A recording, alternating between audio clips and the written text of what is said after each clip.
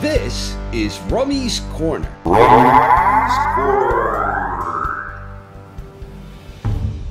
When Mike Tyson first exploded onto the scene en route to becoming the youngest heavyweight champion in history, the division was catapulted into a 15 year stretch where boxing's marquee weight class was exciting and competitive and had a great abundance of talent. In addition to the powerhouse that was Mike Tyson, we also saw some outstanding undisputed world champions in Evander Holyfield, Riddick Bowe, and Lennox Lewis. And we also had George Foreman regaining the title to become the oldest heavyweight champion in history, this less than 10 years after Tyson had become the youngest. When Lennox Lewis retired, it marked the end of an era. Over the next 10 plus years, the division was dominated by the Klitschko brothers. At first, Vitali was viewed as the top dog in the heir to Lennox. Then he retired due to injuries, and Wladimir bounced back after joining forces with Emanuel Steward, and Wladimir became the dominant heavyweight force. Then Vitali came back, and both Klitschkos ruled over the division for several years, before Vitali retired again for good as Vlad's reign continued to march along. The main problems for fans when the Klitschko brothers reigned supreme was number one, the Klitschko brothers were head and shoulders above the rest of the competition, so their fights tended to be one sided. And number two, since the Klitschkos were both clearly the top two heavyweights, the fact that they were brothers and understandably would never face one another this prevented fans from ever seeing a matchup between the two best heavyweights of that era. Things suddenly became a bit more interesting when Wladimir's dominant run came to an unexpected end at the hands of Tyson Fury. But that was two long years ago now, and Fury hasn't fought since. Meanwhile, two heavyweight champions have risen towards the top of the mountain Anthony Joshua and Deontay Wilder. Both men hold portions of the heavyweight crown. Both boxers are undefeated, and they are both in their respective physical primes. Despite all of this, they are still both also very much works in progress. Just a few weeks ago, Wilder made the sixth successful defense of the WBC title against the man he beat to become champion, Bermane Stiverne.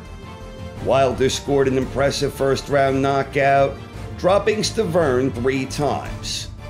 So that's six title defenses for Wilder in less than three years, but it wasn't necessarily against the greatest competition for a world champion. Although, in fairness, it's not Wilder's fault that bouts with Povetkin and Ortiz fell through.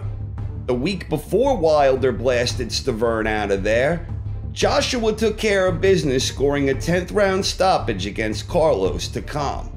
So Joshua successfully defended the unified WBA and IBF titles, and this was his fourth title defense in about a year and a half since he won the IBF belt from Charles Martin. He would later add the vacant WBA strap when he defeated Wladimir earlier this year.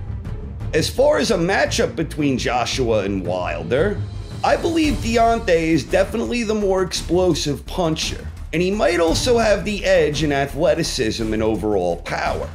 Wilder has a pretty good jab, he's capable of throwing nice straight punches, and he appears to have good fighting instincts. But Wilder does have a tendency to get a little wild sometimes, and Wilder hasn't faced particularly good competition to date, despite racking up six title defenses. While I believe Wilder is the more explosive of the two, I definitely think that Joshua is the more polished of the two. To me, Joshua just seems like a more well rounded boxer. I think Joshua is more skilled, he definitely has better technique, and it seems to me that he has a much better understanding of range and balance. Joshua has also faced the better competition, and he made a huge statement and overcame adversity in a career defining victory against Wladimir Klitschko. But all the same, Joshua still has some flaws of his own, And many of the things that Joshua has seen susceptible towards are the types of things that Wilder happens to do extremely well. So a matchup between Joshua and Wilder is a very intriguing prospect. Right now, I tend to favor Joshua, as I think he's the better skilled and more proven commodity. I ultimately think Joshua's better sense of range and distance will provide him with a strategic advantage that affords him more ways of winning. But that doesn't mean it would be easy, and you can never ever count someone like Wilder out. He has the power and the means to deliver it. He's always a threat, and the fact that he has a decent jab makes him all the more dangerous because it allows him to disguise his right hand. So I think sooner or later, this showdown is inevitable, and I think this is great for boxing. We have two undefeated champions in their prime, and we have the chances for a showcase unification bout. This is something we really didn't have during the Klitschko era.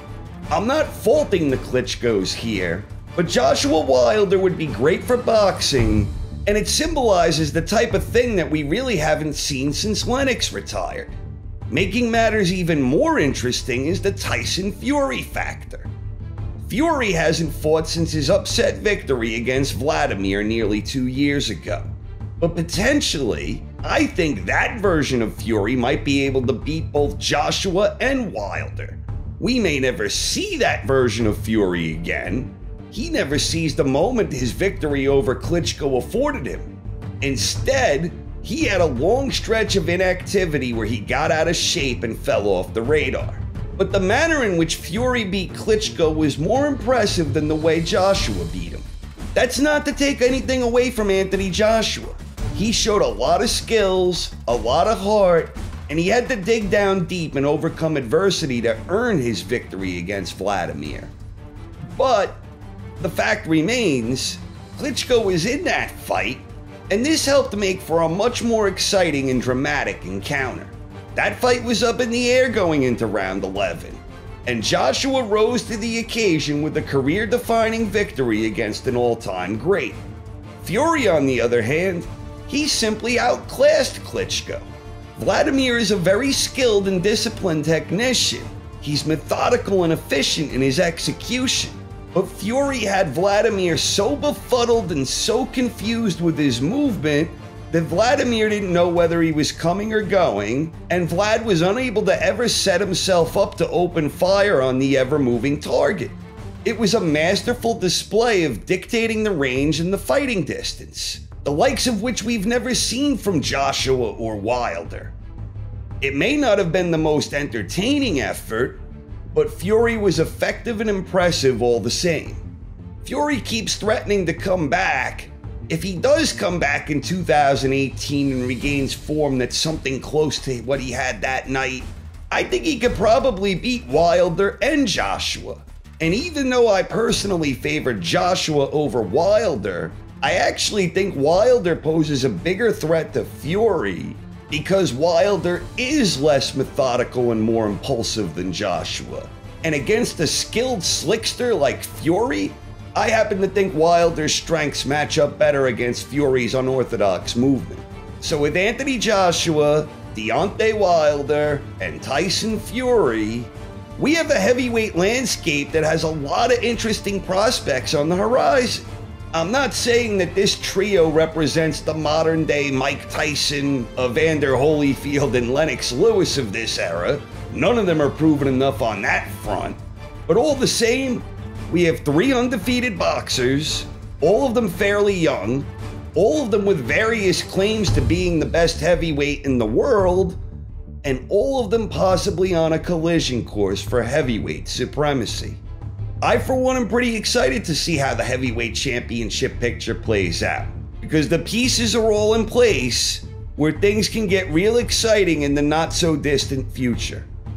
That's all I got for now. Thank you very much for watching and have a great night, everyone.